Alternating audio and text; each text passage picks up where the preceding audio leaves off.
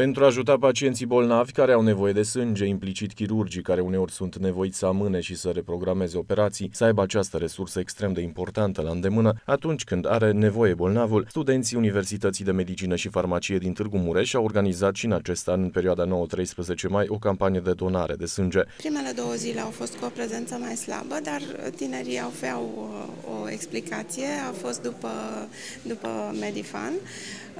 Uh, urmând ca în celelalte trei au recuperat și numărul lor a fost uh, destul de mare.